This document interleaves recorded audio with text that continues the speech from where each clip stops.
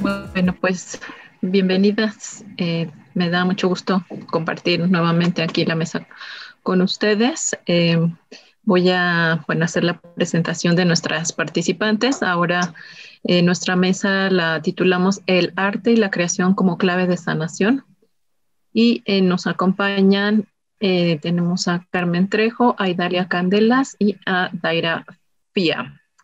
Eh, voy a leer un poco sus semblanzas de ellas. Carmen Trejo es actriz, dramaturga y gestora cultural.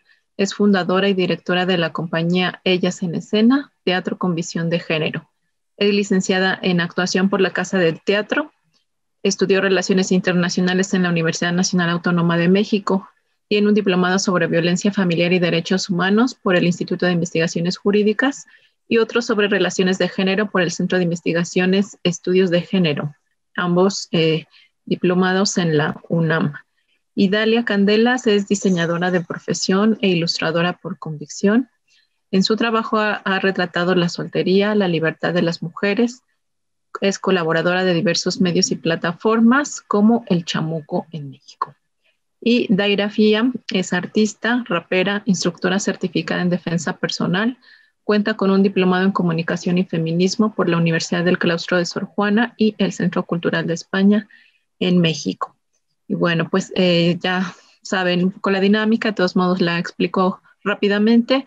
Vamos a dar paso a las exposiciones de nuestras invitadas. Eh, tendrán 15 minutos cada una de ellas para presentarnos qué han, eh, bueno, su trabajo, ¿no? ¿Qué es lo que han hecho? Y eh, después de eso daremos paso a las preguntas que hemos, eh, se generarán por parte de ustedes y también algunas que hemos como planteado acá desde, desde, desde la organización. Entonces, eh, pues sin más, le doy la palabra a Carmen Trejo y pues empezamos. Muchas gracias. Hola, buenos días a todas. primero que nada, pues quiero dar las gracias a a la Escuela Feminista de Comunicación, a Raquel, al Centro Cultural de España por esta invitación. Me siento muy, muy honrada de, ser parte de este segundo encuentro. Me llena de felicidad y bueno, también este, preparé una pequeña presentación. ¿La puedo compartir? ¿Será? Eh, trataré de ser súper breve. A ver, bueno. Mientras... Eh, ¿No tienes la opción para compartir, verdad, ¿O sí? Sí, aquí, pero me dice que el anfitrión inhabilitó la función de compartir.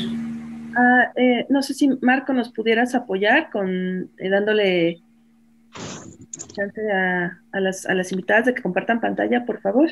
Ya, ya, ya le di. Ya, ya, ya, ya está como anfitriona, ¿no? Sí. sí. A ver. Carmen Trejo, ¿verdad? Sí. Permítame. Sí. Ah, no, es que ya.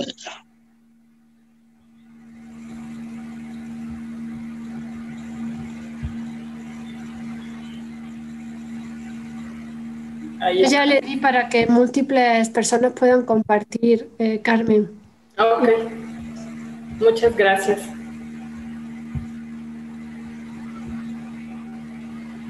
A ver. Entonces, ahí, ahí lo ven. No. Sí, ahí está. Sí, ya se ve. Ok. Sí, ya está completa. Muchas gracias. Eh, bueno, quiero comenzar un poco diciendo de dónde vengo. Vengo pues del, del medio urbano. Eh, eh, comencé muy joven tratando de hacer teatro pero antes estudié Relaciones Internacionales en la Facultad de Ciencias Políticas y Sociales y mi segunda carrera es actuación. Por azares del destino o por, bueno, por, mi formación, estuve trabajando en la Secretaría de Relaciones Exteriores eh, desde el 2008 al 2010. Fue un breve tiempo pero ahí tuve contacto por primera vez con los temas de género. A pesar de que yo estudié dos licenciaturas, en ninguna eh, tuve ninguna materia que hablara sobre perspectiva de género, sobre estudios de las mujeres, nada, nada, nada. Y entonces cuando en ese periodo que estuve trabajando en la Secretaría, me tocó muy de cerca apoyar los trabajos que se estaban haciendo para eh, cuestiones de trabajo al interior de la Secretaría. Sin embargo, pues yo lo que más deseo en la vida es actuar y un día, a pesar de que tenía ahí mi oficina muy bonita, tenía un sueldo que me resolvía muchísimas cosas, pues en menos de dos años de estar ahí pensé que había, que ya tenía un cierto conocimiento, que ya tenía como una perspectiva de lo que quería hacer y renuncié y decidí formar esta compañía que se llama Teatro, eh, que se llama, perdón, Ellas en Escena, teatro con visión de género.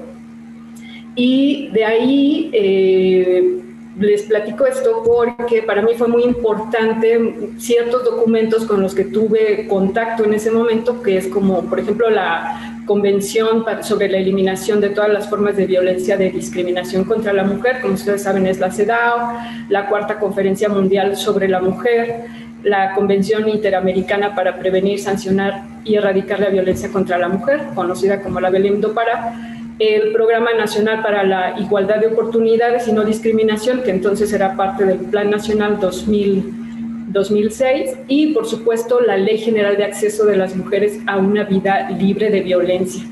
Para mí estos documentos han sido como el sustento del trabajo que hago para llegar a la escena.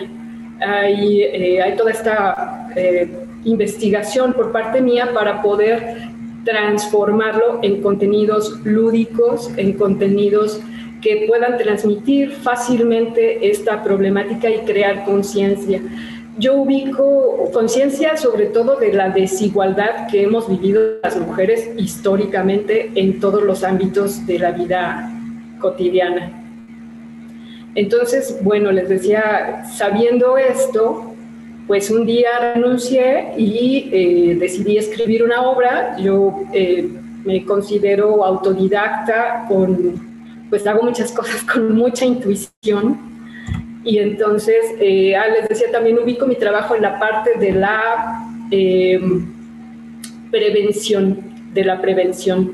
he tratado de que lo que hacemos en ellas en escena muestre la problemática no desde una visión de la víctima, sino porque no, no creo que sea el trabajo que yo estoy buscando de hacer arte, sino que me propuse sobre todo hacer una, a través del teatro, nombrar de otra manera las cosas, nombrar de otra manera lo que pasa a las mujeres y dar alternativas proponer nuevas narrativas. Entonces, sí hay una visibilización, pero desde otro punto de vista. En eso, pues me he tratado de especializar en estos años. Y eh, este, unas fotos acerca de los primeros trabajos que hice en este medio muy, muy, muy urbano y que era una alternativa justo también para, pues como consecuencia, me he tenido que salir deliberadamente de los espacios teatrales. Eh, pienso que el mensaje que, quiero dar, eh, quiero que llegue a otros públicos, a otras personas, quiero que se cuestionen. Entonces no busco las grandes escenografías, las luces, sino irrumpir en los espacios de las personas. Eso para mí ha sido súper importante. Eh, me inventé un personaje mm, que se llama Eugenia Guerrero Zapata y este, porque lo que busco, quiero que el sentido del humor, que la alegría sea como una guía para lo que yo estoy haciendo. Y bueno, acá hicimos una pastorela en el 2010 y estos fueron los primeros trabajos, ¿no? Este contacto con las personas, este, esta cercanía, pues fue lo que a mí me dio la pauta para, para, seguir investigando. Y si bien estos primeros trabajos no tenían una visión de género como ahora a, lo largo de esta trayectoria, de, estos años que he podido ir estudiando y he podido eh, eh, pues em, afinar más la mirada, por decirlo de alguna manera, e ir tejiendo estos conocimientos en el, en el arte teatral, eh, estos primeros trabajos sí me sirvieron muchísimo para saber qué era lo que realmente yo quería y cómo quería transmitir las cosas. Entonces, pues bueno, ahí les traje estas imágenes y eh, quiero eh, quiero detenerme aquí un momento, es muy importante para mí, porque si bien en el 2010 yo ya estaba haciendo estas obras de teatro, les decía, para mí es muy importante la parte académica, vincular el, el, teatro con un sustento teórico, me encontré con la doctora Alicia Elena Pérez Duarte y Noroña. Estaba justo empezando el diplomado y ella en una de sus clases eh, eh, nombró la dignidad humana. Y entonces, bueno, yo sé que es un tema súper complejo, pero la forma en que ella le explicó a mí me marcó a mí me marcó y desde entonces mi trabajo va encaminado a buscar la dignidad de las mujeres y la alegría de las mujeres. Entonces les platico rapidísimo que la doctora Liciene Elena nos dijo que la dignidad humana se siente como una flamita aquí. Dice, es algo que se siente en lo interno, en el cuerpo, porque vibra aquí en el pecho. Es el respeto la estima que cada persona tiene para sí misma, para las y los demás. Y es lo que nos hace iguales a hombres y mujeres. Es lo contrario a la humillación. Por eso hasta las niñas y los niños saben cuando algo es injusto. Entonces, eh, pues para mí ha sido una guía esta definición de la dignidad, porque yo la convertí en una bueno, ya ella de por sí ya la tenía en una metáfora, ¿no? Hacer de la dignidad humana algo que nos atraviese en el cuerpo y que vibra como una flama, a mí me dio una idea muy importante para hacer un trabajo que, que me parece que es, eh, pues hablando de la sanación, que tiene un principio de sanación que habla desde otro lado eh, a partir de las, de las personajes, de los personajes que me inventé en una obra de teatro que se llama ¿Qué veo cuando me veo? Por acá, aquí, aquí tengo aquí una imagen. Somos dos actrices. Bueno, esta obra se trata de una mujer que se mira al espejo y su reflejo se sale del espejo. Y juntas hacen un viaje introspectivo para mí es muy importante, les decía, no mostrar a través del arte, del teatro, no mostrar a las mujeres víctimas, porque eh, sino más bien hacer un tratamiento amoroso, empático, muy, muy, muy cuidadoso y con sentido del humor. Eh, lo que yo he estudiado del teatro, pues bueno, el teatro clásico se caracteriza eh, por muchas cosas, pero también por mostrar siempre a las mujeres devastadas, doloridas, en la locura y en la destrucción. Y lo que yo he buscado es hacer otra cosa. Eh, les voy a leer algo porque, porque les voy a leer algo, porque este, me parece más fácil eh, compartirles estas palabras escritas, porque si no luego me pierdo muchísimo. Eh, eh, yo quiero que las personajes o los las personajes, porque yo quiero mostrar siempre cuerpos de mujeres, mujeres en la escena, ¿no? Eh, en esta pluralidad de cuerpos que somos, así. quiero que estas personajes decidan no sacrificarse por nadie, su mayor preocupación no está en conseguir pareja ni en llegar a ser madre. De hecho, sobre el amor tienen más preguntas que respuestas, pero deciden emprender búsquedas personales para reconocerse únicas y con derechos. El valor, ético más importante es su propia dignidad, dueñas de sus cuerpos y de sus pensamientos, reconociéndose creadoras de sus vidas reconociéndose mujeres vivas que aman su vida, mujeres que se construyen por voluntad propia y con manos propias, creadoras de sí mismas. Esto es algo de lo que yo de lo que yo he buscado justamente para como una forma de revelarme ante este discurso patriarcal dominante, que por supuesto que el teatro se vuelve un espacio para reproducir estas desigualdades, pero yo me he autoimpuesto esta tarea de crear otras narrativas a partir de la dignidad de las mujeres. Y les decía, a partir de la alegría.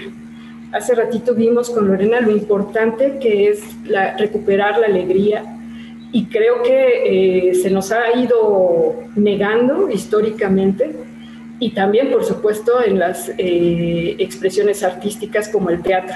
¿no? Entonces, a mí me interesa muchísimo eso. Eh, aquí otras imágenes de esta misma obra que vamos viendo cómo se educa diferenciadamente a hombres y mujeres desde la infancia. Y, por supuesto, todo el, todo el tiempo eh, trato de que sea mm, con sentido del humor, porque el sentido del humor es para mí una herramienta para ridiculizar, como decíamos hace rato, para ridiculizar toda esta normatividad en la que, en esta heteronormatividad, para reírnos de todo lo que nos plantea el patriarcado. Entonces la risa para mí es liberadora, eh, me conecta con otras, con otras cosas. Eh, bueno, y la invitación es a esa, a que las espectadoras también se rían, también se conecten con ellas mismas, que se atrevan a buscar su flamita interior, que se, aprende, que se atrevan a defenderla ante un mundo que nos quiere sumisas, que nos quiere calladas. Y bueno, el teatro para mí ha sido ese espacio de creación, de transformación, primero de mí misma y después poder eh, ha sido maravilloso este vehículo del teatro para mí, para poder mostrar otras formas de construir, otras formas de relacionarnos, otras formas de nombrarnos a nosotras mismas, ¿no? Universos, me parece que el teatro es un espacio igual que cualquier otra disciplina artística, que son espacios para crear mundos alternos, mundos otros mundos posibles y que el feminismo, particularmente el feminismo, hace que estos mundos sean habitables para las mujeres. Y eh, eh, yo aquí puse de alguna manera una síntesis de lo que estoy buscando con este trabajo, con esto que estoy haciendo desde hace algunos años y por qué me parece que el teatro puede ser una, un espacio de sanación, porque me parece que, o yo quiero hacerlo así, porque estoy buscando una palabra que cuestiona, palabras que aman la vida, que construyen realidades amorosas para las mujeres, representaciones de mujeres que se transforman a sí mismas, que disfrutan y se disfrutan, que desean, que sueñan, y por supuesto que estoy buscando la alegría como una, como una herramienta de sobrevivencia ante este mundo que nos oprime. El autoconocimiento también, eh, ahí siempre hago una invitación porque pienso que el autoconocimiento es parte de esta recuperación de nosotras mismas. Pienso que todo lo que nos rodea, este mundo tan hostil, nos hace perdernos de nosotras mismas y a veces o la mayoría de las veces no sabemos qué queremos, ni quiénes somos, ni a dónde vamos, pero que el feminismo nos puede regresar, nos regresa a esta sabiduría que ya tenemos en nosotras mismas y que nos anteceden eh, nuestras ancestras. Entonces el autoconocimiento pues es una herramienta para regresar a nosotras mismas y conectarnos con todo eh, el conocimiento previo que está, que está en nuestros cuerpos. Me parece también que estoy buscando contagiar y, constantemente estar abriendo los sentidos para observar que esta realidad es susceptible de ser modificada. Estoy buscando hacer del teatro un espacio para resignificar la vida cotidiana de las mujeres, porque me parece que en lo cotidiano está lo extraordinario de nuestras vidas, ¿no? y que el patriarcado nos hace ver a otros lados pero que nosotras, eh, en el ámbito, o sea, ¿qué sería de nosotras en este mundo pandémico si en todo el trabajo que hacemos día a día dentro de nuestras casas? Creo que hay que regresar la mirada a esos espacios y darle este sentido que verdaderamente tiene para que la vida siga funcionando. Eh,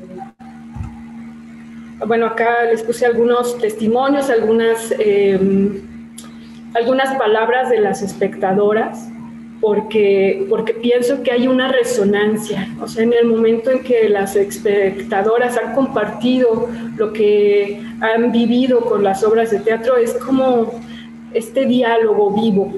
Eh, no es un trabajo unidimensional, unidireccional, sino que ellas nos regresan con sus palabras lo que, lo que su sentir pensar. Entonces, bueno, pues acá hay cosas maravillosas, solamente voy a leer este, pero dice una espectadora de Guerrero, me ha enseñado a dar un paso decisivo para ser feliz. Se refiere a la obra que veo cuando me veo, ¿no? Y bueno, para mí ha sido maravilloso porque, porque en esta resonancia siento que sé de alguna manera que, que mientras yo siga autoconociéndome y pudiendo transformar todo esto que estoy viviendo, como decía Lorena hace rato, si me sano yo, sanan las otras, y si se sanan las otras, sano yo. No lo dijo exactamente así, pero resonaron en mí muchísimo esas palabras y, y bueno, pues me parece que es como el momento, la ocasión para compartirlas con ustedes. Mm, eso es básicamente lo que yo preparé. Eh, no sé si tengo tiempo todavía ya estamos en los ya 16 minutos, pero si quieres decir algo más, Carmen, adelante. Sí, rapidísimo. Eh, las invito, las invito a, ahí no sé cómo quitar mi, mi pantalla. Aquí está.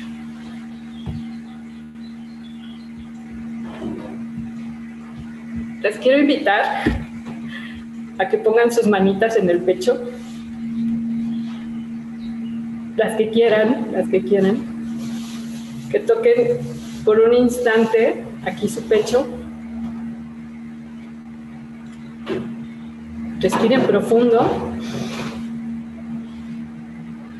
Exhalen y cierren sus ojos quienes gusten, quienes se sientan seguras de cerrar sus ojos y sientan su flamita interior. Su flamita tiene un color, una temperatura determinada, esta flamita interior, ahí están sus sueños, sus proyectos, su propia historia, todo lo que han hecho, todo lo que nos falta por hacer, todo lo que han dicho y lo que nos falta por decir. Esta flamita es suya, suya, suya, que sea la guía para alcanzar sus sueños, para alcanzar todos sus proyectos, todo lo que ustedes quieren que nadie, nadie la vaya a apagar nunca. Nadie, nadie. Que sea su brújula para llegar hasta donde ustedes quieran. Pues por mi parte sería todo. Muchas, muchas, muchas gracias. Muchas gracias, Carmen. Gracias por tan bonito comienzo. Gracias, Carmen. Y, emotivo. Eh, toda esta mañana ha sido así, ¿no? Muy emotiva. Y eso, eso es muy bonito.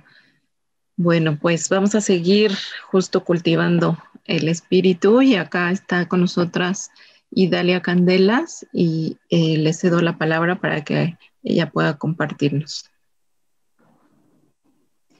Muchas gracias, Coaldis. Este, pues estoy profundamente honrada por por estar invitada.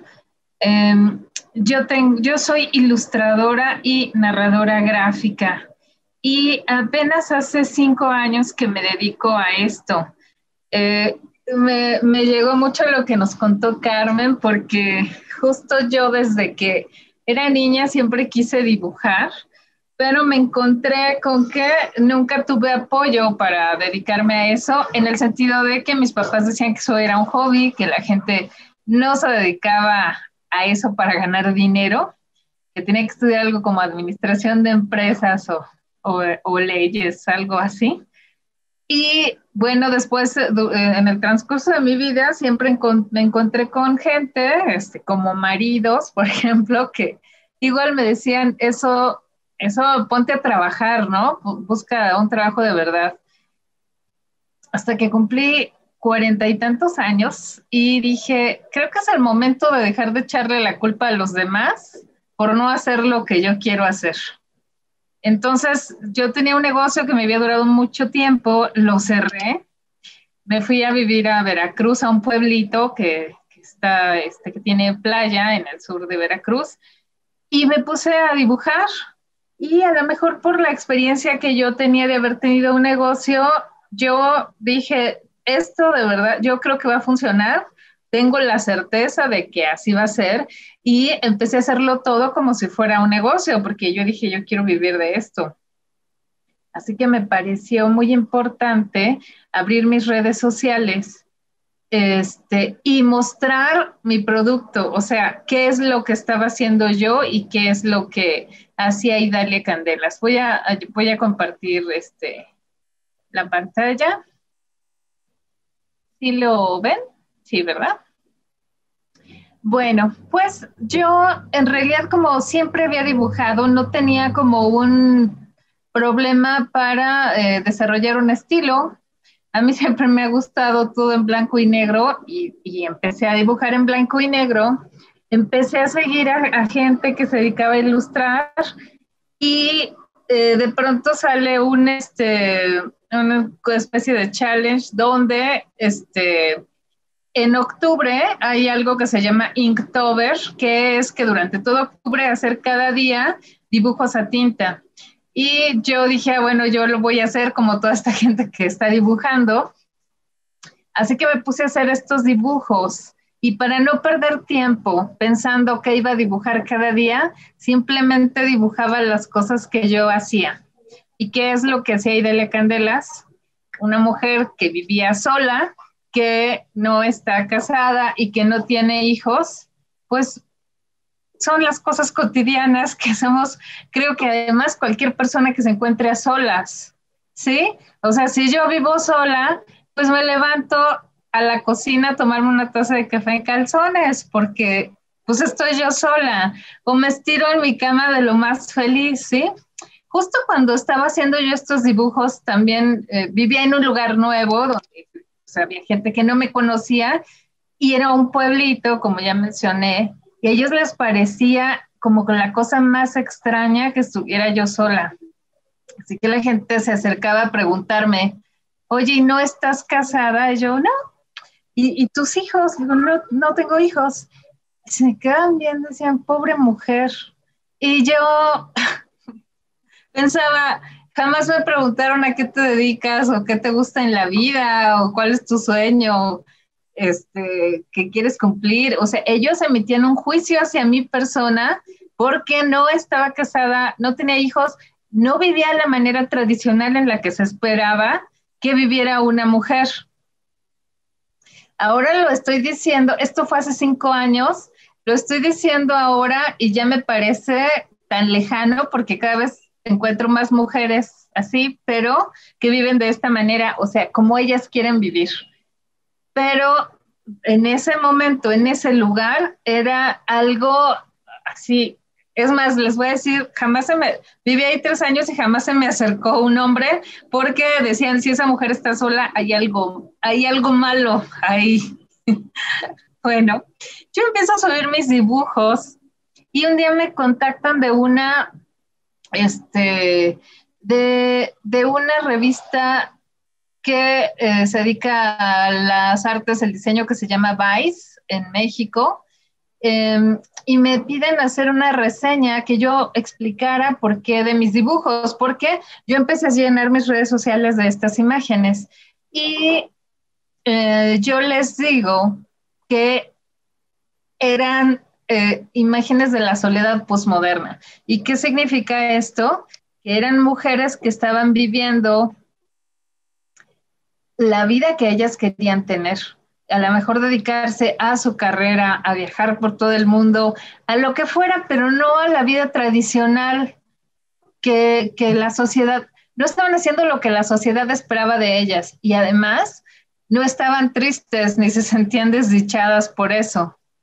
Así que, bueno, suben este, este reportaje eh, a las redes sociales en México y me dicen, ¿sabes qué? Eh, le fue muy bien, pero en Estados Unidos les llamó la atención, lo vamos a subir a Vice de Estados Unidos.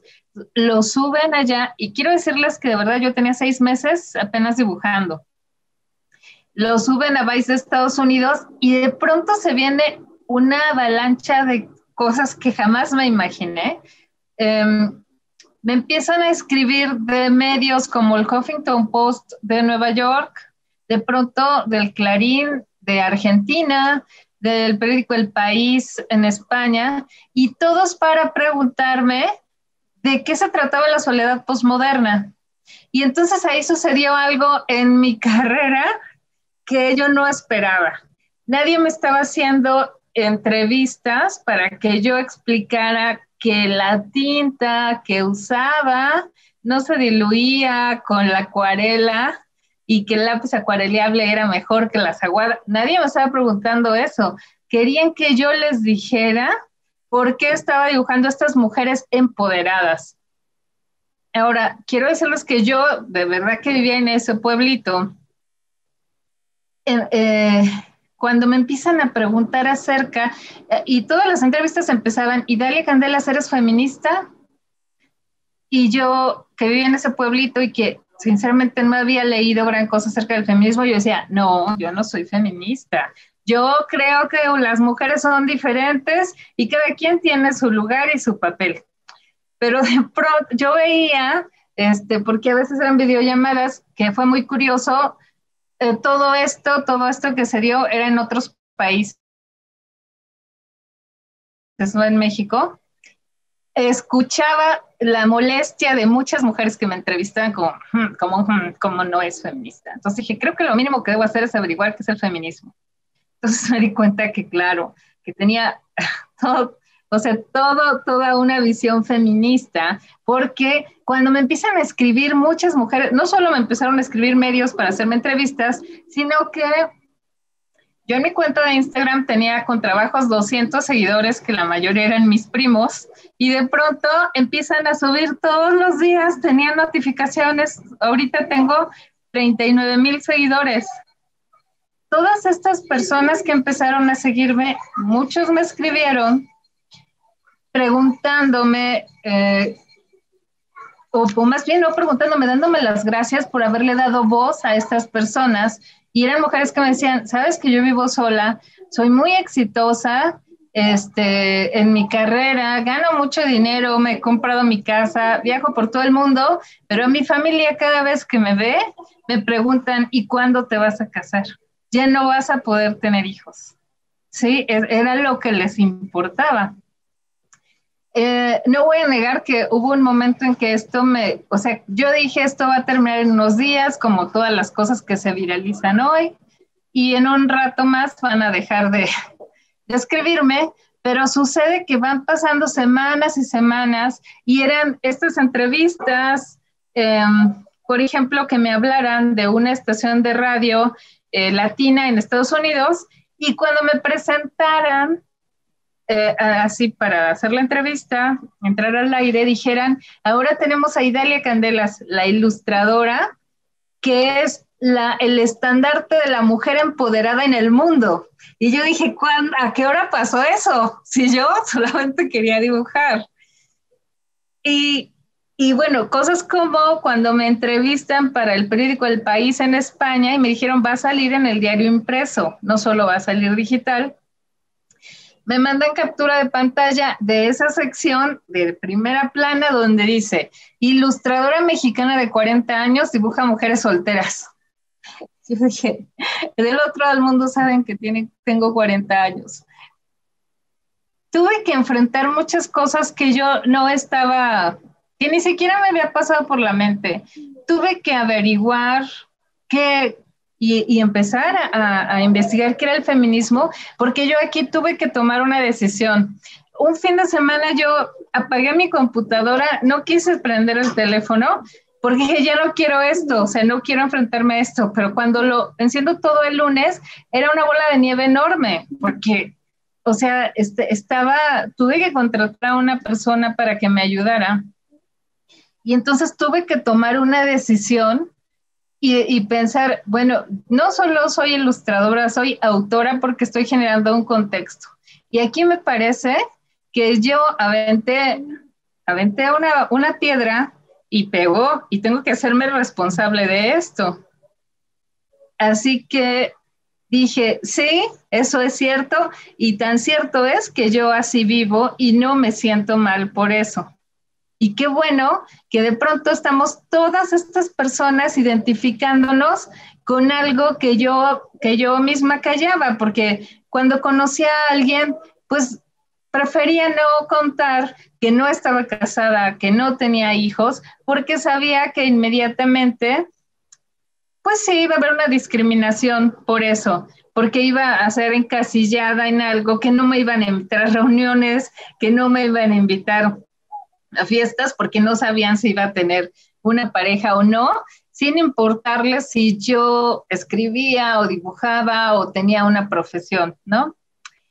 Bueno, pues lo que yo pensé es que ahora tenía una gran oportunidad y estas imágenes que les estoy mostrando, resulta que me escriben de Editorial Planeta y me plantean hacer un libro acerca de esto y hago un libro que se llama A Solas, que es acerca de aprender a disfrutar de tu propia compañía y de hacer a un lado los prejuicios que tenemos sobre todo las mujeres, de que si no tenemos a, a, un hombre a nuestro lado, no vamos a tener valor como personas. Le fue también el libro que se publicó en México y España simultáneamente, después en Colombia y Ecuador, y después se publicó por Random House en Alemania. Son estas imágenes que estamos viendo aquí. Perdón, Wallis, no, no estoy tomando el tiempo, entonces espero no pasarme. Después, bueno, afortunadamente eh, me invitan a participar en varias antologías de cómic y es cuando empiezo yo a hacer cómic. En México, que yo pues sinceramente no tenía idea que había todas estas personas haciendo este, este trabajo, empiezo a participar en varias antologías con diversos temas. Sin embargo, yo una vez que averigüé lo que era el feminismo, y creo que a la mayoría nos pasa, ya no hay marcha atrás. Y yo quería empezar a, a dibujar este tipo de... Yo lo que quería es que las mujeres leyeran algo o que vieran algo que, hiciera que entendieran, porque estoy segura que también les ha pasado que encuentran a mujeres y dicen, yo no soy feminista, esas mujeres a mí no me representan. Y le digo, oye, averigua tantito, ¿qué hay detrás de todo eso? Entonces, a partir del año pasado, justo cuando fue el 8 de marzo, para la edición del, de marzo, me invitan de una revista de contenido político y social que es El Chamuco y los Hijos del Averno. En lo personal, no es algo que yo, que una revista que yo hubiera comprado antes eh, o que dijera, me, me, guío por esta corriente política o no. Eh, pero pensé, es una buena oportunidad para generar este contenido acerca de lo que es el feminismo, acerca de las situaciones, de, la, sí, de la situación de la mujer en México, acerca de los feminicidios, este, acerca de la violencia de género. Y entonces descubro este, esto que lleva por nombre cómic reportaje, donde hay que hacer toda una metodología de investigación una vez que decides cuál es el tema que tienes que eh, no solamente investigar las fuentes, sino que tienes que, eh, si es posible, entrevistar a personas que estén involucradas en eso. En este caso, esta imagen que les estoy mostrando es acerca de eh, la situación de las mujeres indígenas y de la discriminación que sufren no solo por su condición como mujeres, sino por su condición social y por ser indígenas. La, llevan muy mal y me parecía importante que, que, si justo iba a tocar el tema de cuando, por ejemplo, hay un feminicidio de una mujer indígena, cuando ellas van a, eh, pues a, la policía, este, no sé, en cada caso a la comandancia, no tienen un traductor. Entonces ellas llevan todo un proceso donde no saben absolutamente nada de lo que pasó. Nadie tiene la sensibilidad ni la empatía de explicarles nada, de ponerles un traductor. Y por eso me parecía importante que en este caso, y lo bueno es que mis editores estuvieron de acuerdo, se hizo el cómic este, en un dialecto de Oaxaca, porque estábamos hablando de las mujeres en Oaxaca en este caso, y no nada más este, eh, para que ellas les llegara a sus manos y pudieran leerlo. Otro de los temas que también he tenido oportunidad de, llevar a cabo es, por ejemplo, en esta antología donde participé, que es acerca de la lucha libre y de las mujeres, en el papel de las mujeres en la lucha libre en México que durante muchos años solamente eh, había luchadores hombres y cuando empiezan a haber luchadoras mujeres, pues eh, eran más bien un papel donde se les sexualizaba, donde ellas no tenían en realidad una eh, preparación para enfrentarse entre ellas, era más como para relleno y para atraer al público. Y bueno, lo que sucede ahora es que son estas mujeres que son eh, pues todas unas deportistas porque tienen tiempo de entrenamiento, tienen un gran conocimiento de las técnicas de la lucha libre, como hacer este, juegos de llaves, eh, y eh, tomando como referencia estas nuevas mujeres que, están en la lucha libre, me pareció importante que si iba a ser un cómic solo para, eh, realizado por mujeres, hablando de las mujeres en la lucha libre, toque el tema acerca de la violencia de género, pero desde esta situación de violencia psicológica, donde son daños que no se ven y que es muy probable que no tengan credibilidad las víctimas. Así que, bueno, en, general esto es el trabajo que yo realizo este, y que eh, la mayoría de las veces intento que sean contenidos para que les sirvan a las mujeres y se informen acerca de lo que es el feminismo y de la situación de las mujeres en México. Es todo.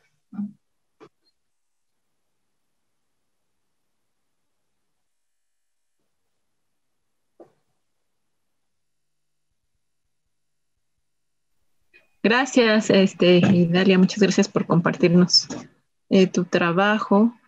Eh, tenemos ya muchos comentarios aquí en el chat, puedes, eh, bueno, ¿no? O sea, les gustó mucho las ilustraciones y... Ay, sí, qué bonito. Todo el mundo siguiéndote ahora, ¿no? Eh, así que vas a incrementar tu número también de seguidoras en, tus redes. bueno, muchas gracias. Vamos a dar paso ahora a la participación de Daira Fía, por favor, y pues las dejo con ustedes.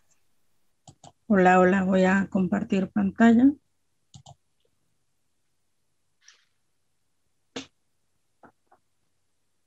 Ya me están viendo ahí.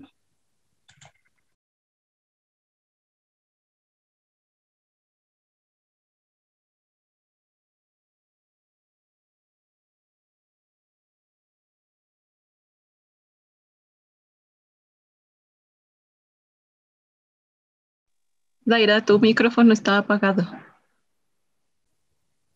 Ya, ahora sí me escuchan. sí, ya bien. Gracias. Eh, bueno, yo soy Daira Falla, soy rapera, instructora de autodefensa y gestora cultural. Les voy a hablar desde donde yo vengo, que es el hip hop y es lo que a mí me mueve. Les voy a hablar poquito de el inicio del hip hop. Hip hop como cultura de paz. En la cultura hip hop las mujeres hemos estado presentes desde su nacimiento. Ella es Cindy Campbell, es hermana de DJ Cool Herc, que también es una leyenda del hip hop, pero ella es quien tiene la idea de hacer una gran fiesta de inicio de clases el 11 de agosto de 1973. Entonces, gracias a su visión, a su emprendimiento, a sus ganas, es que se hace esa fiesta, ese dibujo que podemos ver ahí es el flyer que ella hizo de puño y letra y el cual repartieron. Esta fiesta tuvo un nivel de convocatoria bastante grande y gracias a eso se le conoce como el día del nacimiento del hip hop y ella es conocida como la primera dama del hip hop. Entonces le podríamos dar que también es la primera productora ejecutiva del hip hop. El 16 de mayo del 2001, eh, después de varios actos violentos dentro de la cultura, entre sus integrantes y después de varias muertes, eh, y un trabajo de, mesa de varios eh, participantes integrantes de la cultura hip hop, presentan esta declaración de paz.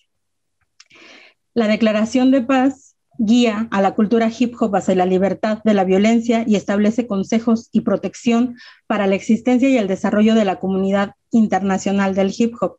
A través de principios, esta declaración de paz, nosotros, la cultura hip hop, establecemos una base de salud, amor, conciencia, riqueza, paz y prosperidad para nosotros, nuestros hijos y los hijos de nuestros hijos, para siempre.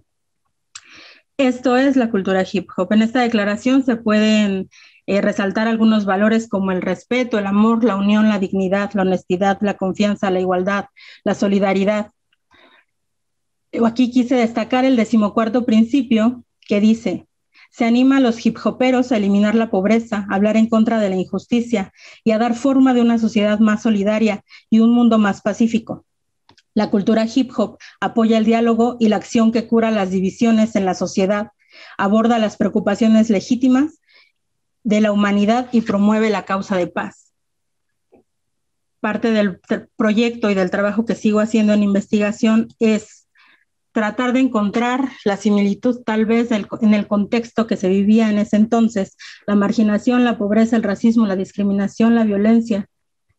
Y nos dice el hip hop que todos podemos y debemos crear a partir del conocimiento. Y ellos crearon esta cultura a pesar de su contexto.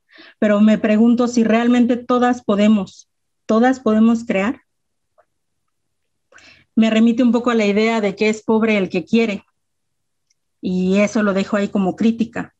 En el hip hop hay nueve elementos y uno de ellos es el conocimiento, pero el conocimiento no solo el que ya existe, sino el que se genera.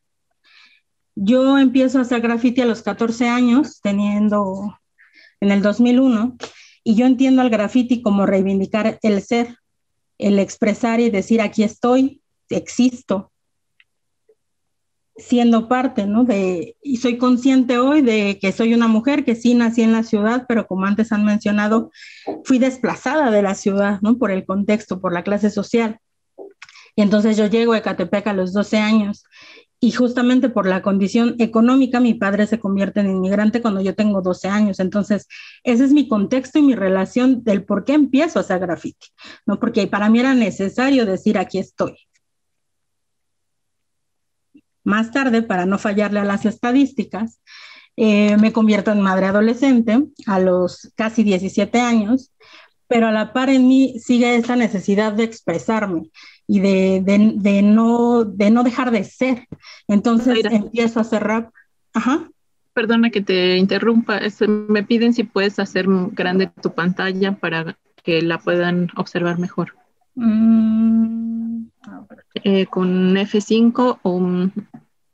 Sí, es que como estoy en dos cosas al mismo tiempo. bueno. Mm, a ver. Perdón, si fue por mi comentario, Wally. Ahí está. Ya, ya, ya está. Gracias, Daira. ¿Ya? Va. Sí, gracias. Regreso a donde estaba. Aquí.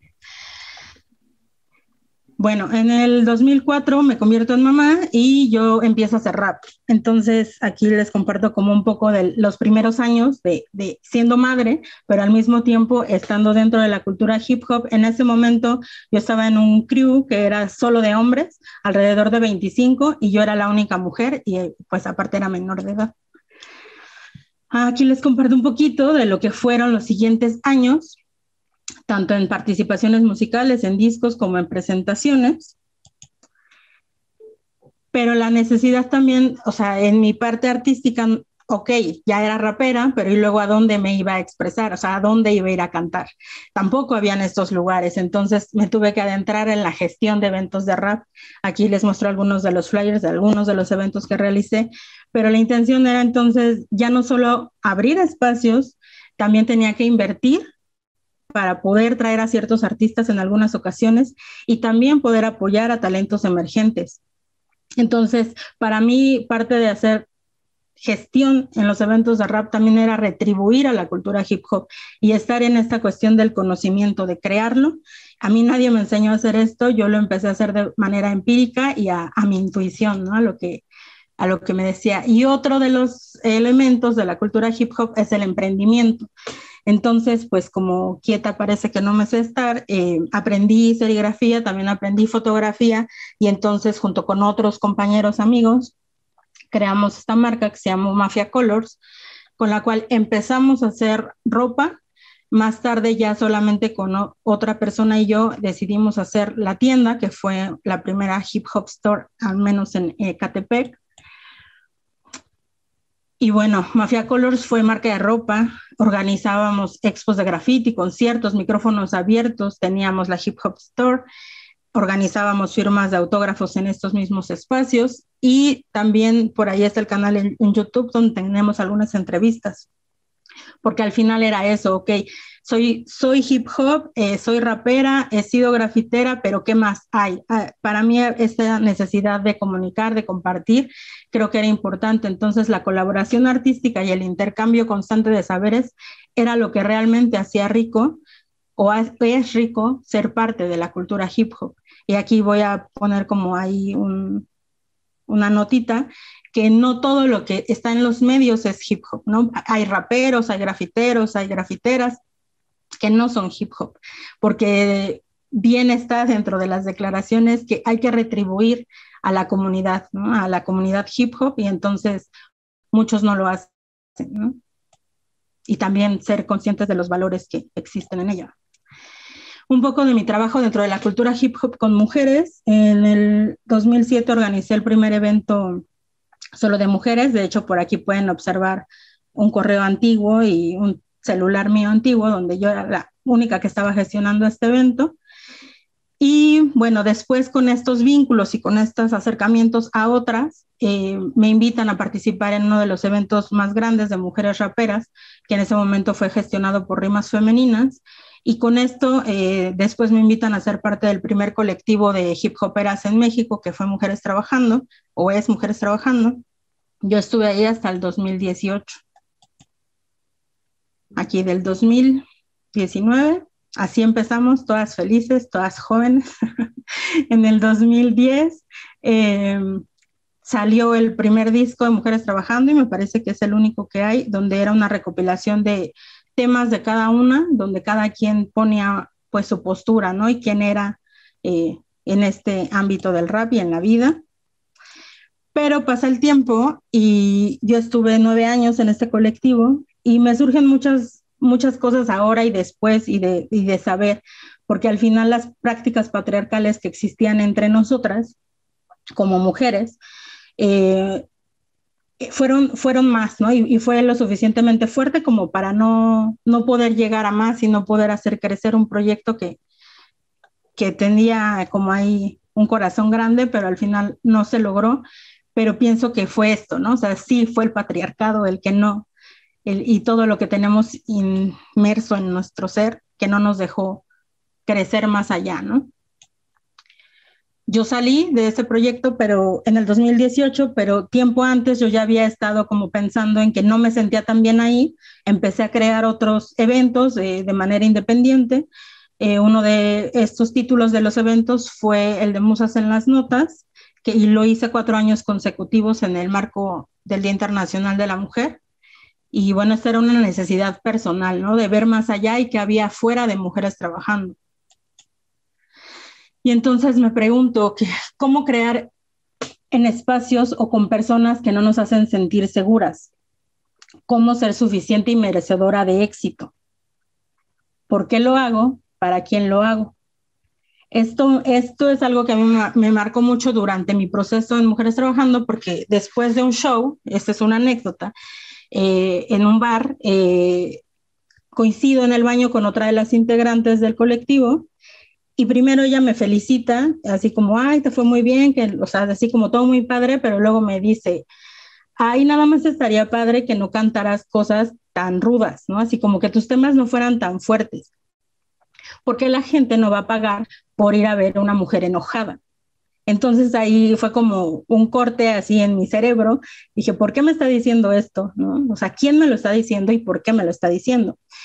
Entonces la, la pregunta empezó hacia mí, ¿por qué hago lo que hago y para quién lo hago? En, eso, en esos años, más o menos, y aquí también lo puse como una nota, eh, me separé del padre de mi hija y dejé todo, o sea, dejé mi casa, dejé el lugar seguro, eh, o, sea, dejé absolutamente todo y me dejé a mí, ¿no? O sea, como empezar de cero todo. Y entonces empezó el proceso de sanación. ¿Cuándo llegó? Cuando empecé a verme. Aquí les comparto un poquito de mi trabajo. Em, he hecho performance, he decidido abrir eh, mi, mente, mi, arte, la gestión a otros espacios. Entonces empecé a hacer talleres, eh, he ido a hospitales a cantar, a reclusorios, a museos, he dado seminarios, o sea, he estado en diversos espacios y al final fue el acercamiento hacia los medios de comunicación donde dije, ok, esto soy, esto he hecho todo este tiempo y creo en mí y creo en lo que estoy haciendo. Aquí tengo una foto eh, con Nelly, con Nelly Lara y con Mare Advertencia Lírica, que las puse aquí porque son para mí una base fundamental, un referente, una inspiración y que me hicieron ver en mí justamente muchas de estas cosas que yo no sabía que tenía, a pesar de todo el trabajo que ya había hecho. Eso a veces es lo que cuesta mucho trabajo, creer en nosotras. Entonces empiezo con los talleres, gracias a la invitación de, de Delphine, ella es inglesa, y ella empezó con este taller sola, pero después me invita para tener, digamos, ahí una retro y entre dos también todo es mejor. Entonces empezamos a abordar los temas en las canciones, pero no solo en las canciones de reggaetón, sino a profundizar en temas y en canciones de décadas, eh, no sé, de los 70 de los 80 90 donde nos encontramos mucho discurso violento, ¿no? Disfrazado de amor romántico, el lenguaje sexista, donde se, nos cosifica. Y entonces al final este taller era un taller feminista, solo que nunca lo decíamos. Entonces en este taller también convivíamos con, con muchos tipos de gente y de edades, ¿no? Porque eran hombres, mujeres y todo el que se quisiera acercar era bienvenido al taller, porque lo que se trataba era de eso, de colectivamente repensar los discursos, reescribirlos y pensamos que con eso también podemos cambiar la realidad. Empecé la autodefensa, eh, como, como todo, creo que porque es algo que la tripa me, me dice que tengo que hacer y mi hija también, porque ella estaba entrando en la etapa de la adolescencia, eh, radicando en Ecatepec, Estado de México, y me empiezo a, a, pensar en, en, todos los riesgos ¿no? que implicaba, porque si bien de niña yo podía estar cuidándola, eh, ya iba a empezar ella con dinámicas, pues a salir con amigos, a estar en otros espacios donde yo no iba a poder estar y donde el riesgo iba a ser mayor para ella. Entonces, empiezo a pensar en qué forma yo podía ayudar, ¿no? Darle herramientas y empiezo a buscar talleres de defensa personal, pero no encuentro nada que me guste, ¿no? O sea, no hay nada, todo era entrenamiento físico, entrenamiento físico, pero yo pensaba que la defensa personal tenía que ir más allá, ¿no? Entonces eh, me acerco con unos amigos que hacen Muay Thai. Yo tenía ya cierto conocimiento, poco mucho sobre feminismo, sobre estar leyendo, investigando, también sobre mi propia práctica dentro del hip hop. Y pues me animo con ellos a hacer un taller de defensa personal, donde yo hablaba la primera hora de algún tema, ¿no? Eh, el primer tema que siempre abordé era el, los estereotipos y nuestro cuerpo, ¿no? Como el reconectar con nuestro cuerpo, porque había que hablar de esas violencias, no nada más de la violencia física de un ataque en el momento eh, no sé, en, el transporte público, etcétera, sino había que hablar de todas las violencias que nos atraviesan desde siempre, desde que somos niñas, desde lo que vemos, lo que escuchamos. Entonces, para mí eso era importante y por eso es que hice este taller, ¿no? La primera era, era teoría y después plática realmente, o sea, era como platicar, compartir experiencias y después era todo lo físico. Y para eso me ayudaba de compañeros hombres, porque al final ellos eran los que tenían la técnica y también para mí es importante enfrentarnos a esta energía y esa corporalidad, porque en la calle lo más seguro es que nos tengamos que enfrentar a ellos, ¿no? Entonces, bueno, yo empiezo a hacer esto. Eh, una amiga, ahora, ahora amiga muy querida y cercana, Sara Escobar, ella es documentalista. Ella se me acerca y me dice que me quiere hacer una entrevista para J Plus, eh, hablando de mi música, pero también abordando el tema de la defensa personal. Aquí les quiero remarcar así como mucho esta parte, porque muchas de ustedes son periodistas, son comunicadoras, y entonces esta es como la parte importante de, la labor, digamos, de ese lado. Gracias a que ella me hizo esta entrevista, eso salió para la televisión, bueno, no, para los medios de comunicación gringos, salió subtitulado todo en inglés, y la organización ISD Global, alguien de la organización lo ve.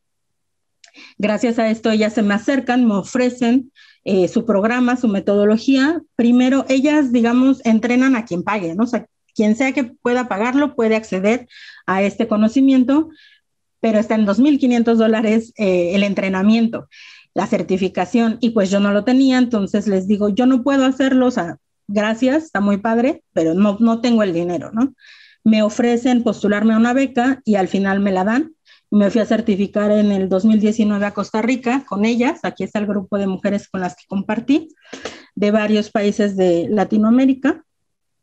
Pero aquí lo importante es esto, esta red que ya se construyó de mujeres que quieren y están interesadas en la autodefensa y que están viendo desde otras formas el cómo cómo defendernos en este mundo y, y, desde dónde empezamos a defendernos, ¿no? Desde el definir quiénes somos.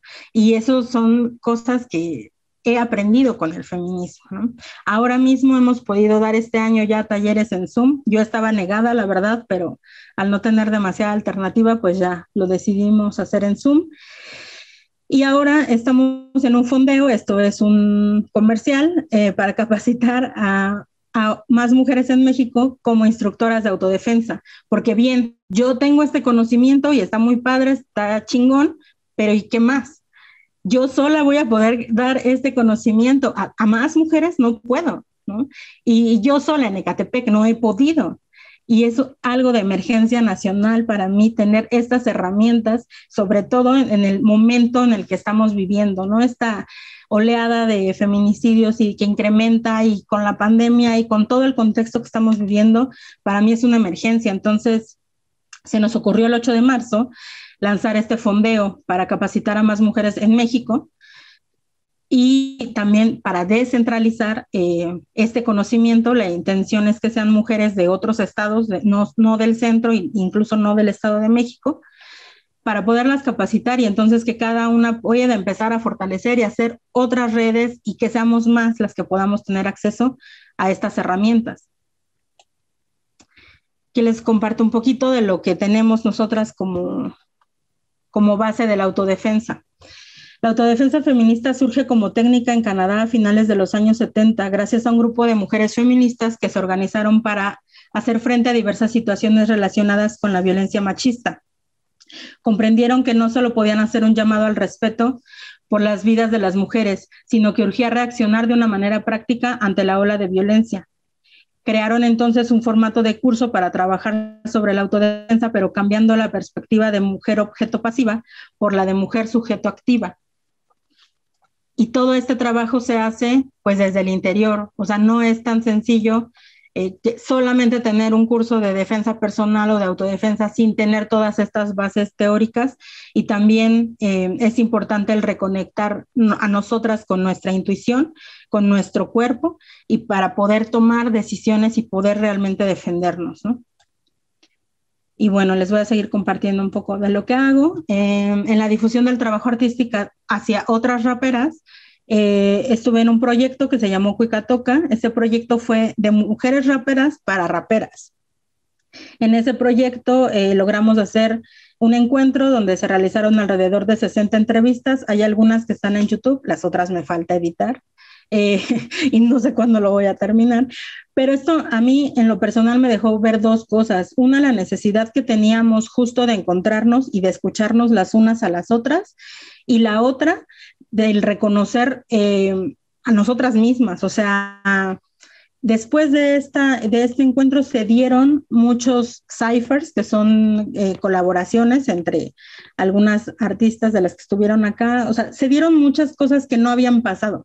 Eh, nos, como pudimos coincidir con otras que tal vez ni les hablábamos, pudimos entablar eh, diálogos, hacer conversatorias, o sea, pudimos hacer muchas cosas a raíz de esto, que bueno, este proyecto ya con la pandemia vio su fin, pero al final yo he estado siempre como intermitente haciendo varias cosas y también empecé a hacer un proyecto con raperas feministas, donde junto con Sara Escobar, que es quien me hizo la entrevista de AJ Plus, y Pablo Ramos, que ellos son de Tortugas al Viento, eh, me apoyaron como en esta cuestión de querer hacer más reportajes documentales sobre mujeres eh, raperas, pero sí que sean feministas. Aquí tuve como que tomar estas decisiones, porque si bien para mí es importante todo lo que todas tengamos que decir, pero qué mensaje me gustaría que otros y otras recibieran. Entonces aquí digamos que tuve que someter a mi criterio eso y decidimos eh, entrevistar a algunas de las raperas. En el año pasado, antes de que terminara el año, se estrenó Existir Resistir, que es un corto documental en un festival que en este momento me parece que fue en Chile, eh, el festival donde lo seleccionaron y, y ahí, ahí se estrenó, ¿no? Y también pues ahí lo tenemos guardado para, para lo que siga, para los siguientes festivales. En el contexto pandémico eh, surgió esta iniciativa de Sororizando, donde también entrevisto a otras compañeras raperas feministas, eso lo van a encontrar en mi canal de YouTube. Y pues la plática iba de hip hop, feminismo y cómo nos había atravesado y cómo nos ha, cambiado, ¿no? Eh, en lo personal, para mí el feminismo es también un poco reciente. Y entonces, ¿cómo ha modificado el feminismo toda la práctica? Desde no nada más la artística y no solamente lo que estoy diciendo o lo que estoy expresando, sino toda la forma en la que me relaciono ahora con las personas que están a mi alrededor y con las que trabajo. Entonces, eso también es algo ahí que, que tengo ahí para reflexionar. No sé cómo voy de tiempo, estoy hablando lo más rápido que puedo. este, ya estamos sobre tiempo, Daira. Si puedes ir haciendo como un cierre, por favor. Sí. Em, bueno, aquí les quise compartir fotos con mujeres que para mí significan demasiado. Ahí están algunas de ustedes porque estuvimos en el diplomado el año pasado también por acá. Y, y pues nada, o sea, quiero agradecer a, Raquel por el espacio. Eh, el estar en estos espacios justamente donde la ética es algo que, se remarca, donde que sea un espacio eh, amoroso, también me parece que es resaltar el autocuidado, es un punto para mí también hacia la autodefensa, ¿no? Entonces, yo quiero creer, he creído en la cultura hip hop, he creído en, la base de la cultura hip hop, en la unión, en el respeto, y entonces también quiero creer que puedo hacer eso en estos espacios y más teniendo al feminismo ahí a un lado, ¿no? Entonces, lo que yo he hecho y lo que he hecho durante toda mi vida ha sido creer y crear. Y me quiero ir con esto, que es el hip hop salvó mi vida y el feminismo me dio herramientas para vivirla. Entonces, ahora, ahora soy más feliz desde que estoy desde este lado y obvio duele, ¿no? Romper todo, toda la vida duele, pero es necesario. Muchas gracias.